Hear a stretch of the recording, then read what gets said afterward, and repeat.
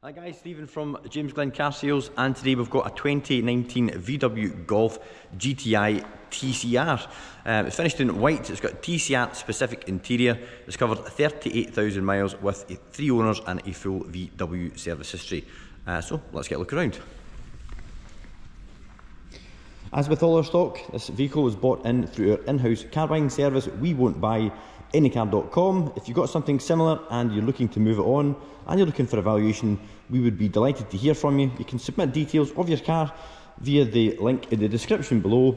Um, just some basic details and we will come back to you with a valuation. Um, as you can see in the background, we generally specialise in sports and prestige vehicles, so if it's something similar, please do get in touch.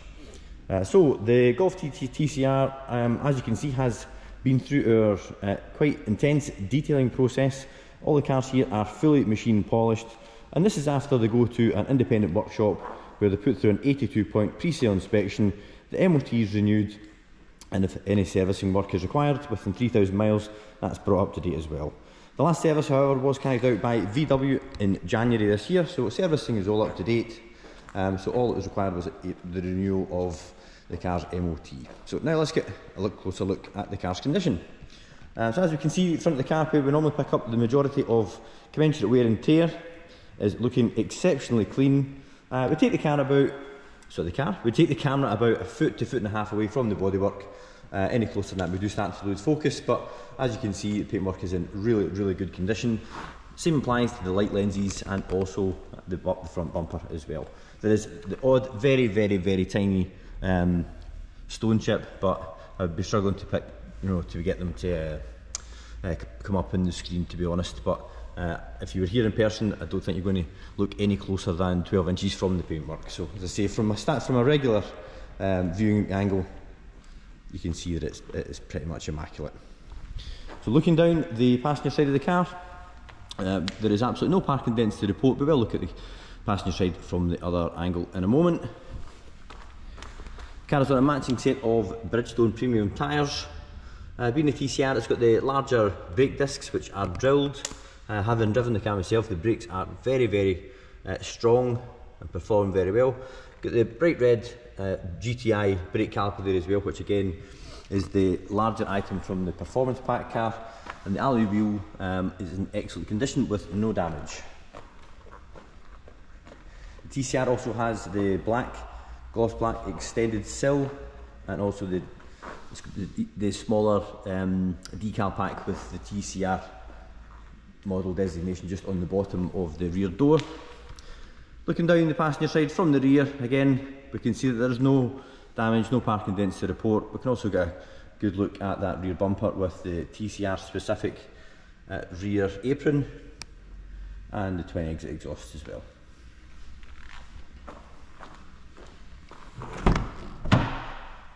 Taking a look at the interior from the passenger side, we can see from this angle that the driver's seat is in excellent condition. And the same for the passenger seat. The Mark 7.5 comes with the nice TFT display as standard and the, the newer style navigation which is all nice and glossy, very iPad-like. Just taking a look at the usual wear points, entry plates, um, which has also got uh, the little illumination stripe on it as well, which carries over onto the door cards. And the TCR also has the Alcantara insets inlays in, that, in the door card. And looking across the back bench, uh, we can see that it's all in good shape and the rear of the front seats are in good order as well. No excessive marks or, or chip marks on the, uh, on the, the door apertures with the kids getting in and out the back all in excellent order. Moving around from the rear, got the darker tail lamps, the TCR again uh, repeated on the tail on the on the boot lid, and you can see just how uh, much more aggressive the TCR rear diffuser is, and you've also got um, fins on the the centre section of the rear diffuser as well. Uh, this car does have an Oettinger aftermarket rear spoiler, which looks pretty cool, looks very OEM, fit and finish is of a good quality as well.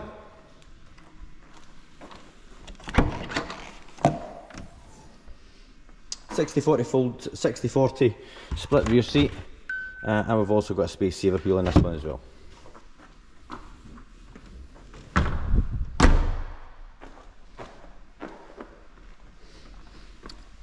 So looking down the driver's side of the car, picking up the reflections of the light in the windows there, we can see that there is absolutely no damage or parking dents. Offside rear wheel free from damage.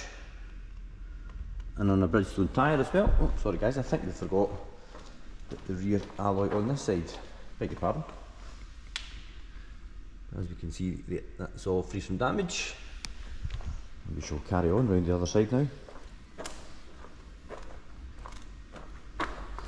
we peek in from the other side because it was quite dark when we were looking in um, from the other side. This isn't much better.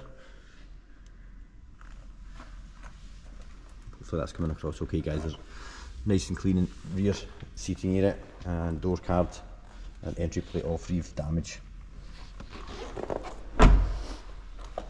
So working my way down to the front of the drivers.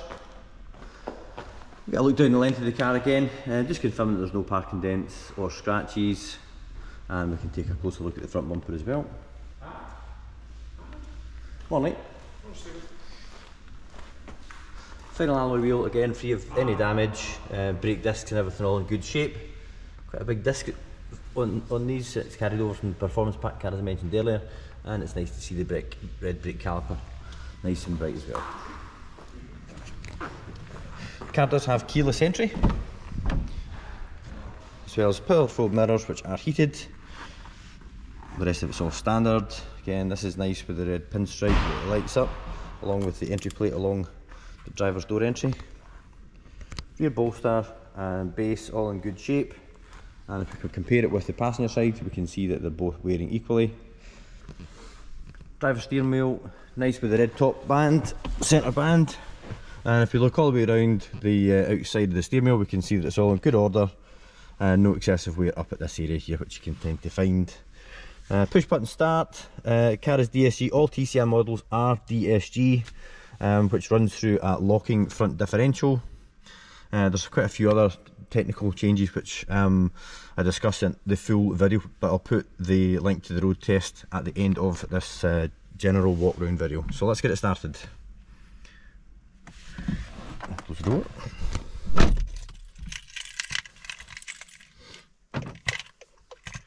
Nice startup procedure procedure there.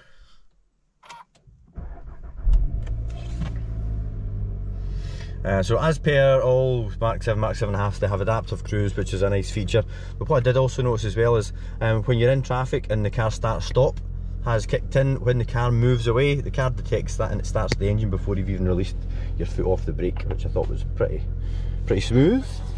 Um, so really, really nice infotainment um, with the latest Discovery, or sorry, the more updated Discovery navigation from the 7.5. Uh, you've got Apple CarPlay, which does need a phone connection, and you've got your navigation there as well. Uh, that can then also be displayed up on the dashboard. You can configure this to um, display the information that you choose. Uh, you've also got your heated seats here as well, as long as well as your, your dual zone climate control. Uh, driving modes um, are selected here. You've got normal, sport, and then if you want you can tailor it to your individual requirements. And then you also have your Eco Pro mode as well. Two cup holders, extended storage under the armrest which is also adjustable. And then you've got it's a non-smoking pack so there's no ashtray, just an extended cubby and your USB socket in there. We'll get the window down, put the car into sport um, and give it a wee rev, let you hear what it sounds like. Uh, car is cold, so will not rev it too hard, but it's very, very eager, I have to say. Um, 290 horsepower, and on the and on the road test, uh, it performed very, very well. So now we'll um, switch that off, pop the bonnet, and let you have a look at the engine bay.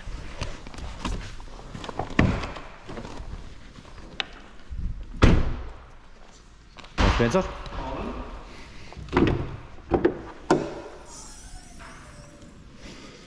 Uh, so it's a two litre um, turbocharged engine. The, the general, the, the normal performance pack car produces 245ish horsepower.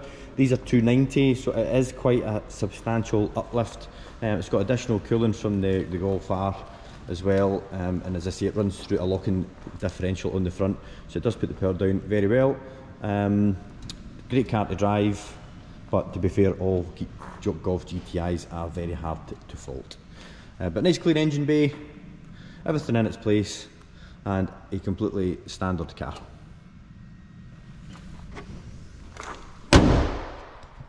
Uh, that brings us to the end of the video, guys. Hope you found that useful. If we can help at all, please feel free to get in touch. You can reach us at the garage on 01236 779000. There's also be a link in the description below to this actual car where you can click on it.